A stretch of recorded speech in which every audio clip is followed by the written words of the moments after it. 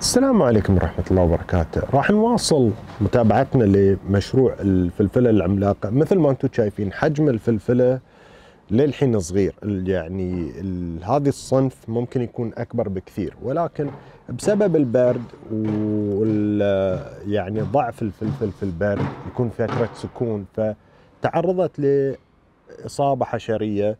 مثل ما أنتم شايفين في التفاف في الأوراق وكذا. ولكن الحمد لله أشوف النموات الجديدة اللي في الأطراف لحد الحين صحية ونموها جيد. فإن شاء الله الحين مع شوي دفء الجو وزيادة يعني طول النهار بدأ الحين النهار يطول. إحنا الحين تقريبا في نص فبراير. فالشمس بدأت تزيد عليها وكذا فالفلفلة راح تنتعش.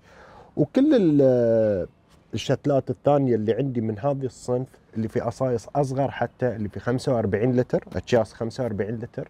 حجمها أصغر من هذه فللحين عندي فيها أمل وراح نواصل نتابعها إن شاء الله. لحد الحين في بداية براعم صغيرة ولكن ما أتوقع راح تحمل ثمر الحين.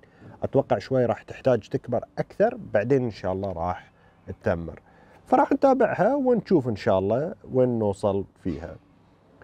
فهذه مجرد فيديو سريع إن نتابع هذه الفلفلة بعد انقطاع.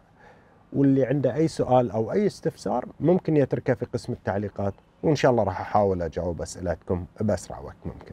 وأشوفكم إن شاء الله في الفيديو الجاي. في أمان الله.